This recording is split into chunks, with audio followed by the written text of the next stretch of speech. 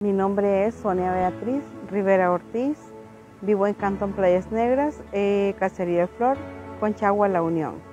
Mi emprendimiento se llama Rancho Saraí. Comencé de la nada.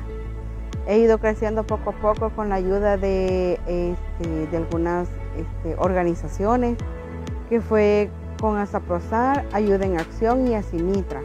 Con ello fui ganadora de un capital semilla, me ayudó a crecer mucho en el área de materiales para mi emprendimiento y así he ido en capacitaciones, la formación para aprender a sobrellevar sobre lo de mi negocio, ¿verdad?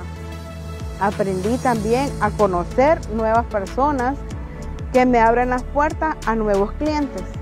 Y también está lo de la remodelación de mi cocina, la ampliación también de mis utensilios, que antes no los tenía y eso me limitaba mucho a poder ofrecer algunos productos. En mi emprendimiento yo ofrezco lo que son eh, más que todo el área de mariscos, eh, donde yo ofrezco pescado frito, este, mariscadas, camarones, camarones al gusto, este, ceviches, cócteles de conchas, ostras, almejas, bebidas naturales.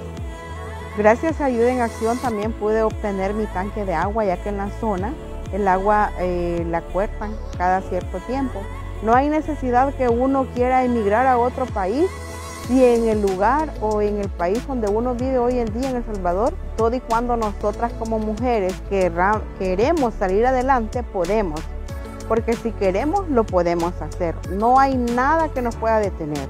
Nosotros las mujeres somos grandes, inteligentes y todo lo que queremos lo logramos con un objetivo. Eso sí, o sea, nada es más, todo tiene uno que lo ganando poco a poco.